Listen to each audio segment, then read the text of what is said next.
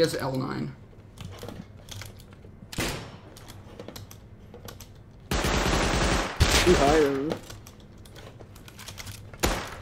I can't believe that just happened. Yeah, Did you see that shit? what the fuck?